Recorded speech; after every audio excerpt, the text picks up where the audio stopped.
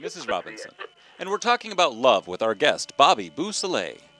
The Greeks pretty much anticipated everything Western folks have thought and felt for 25 centuries. You'd be talking here about love as friendship, which the Greeks called philia, uh, benevolence toward guests, which would be xenike, the mutual attraction of friends, which is hetairike, uh, and then the sensual love, of course, or erotike.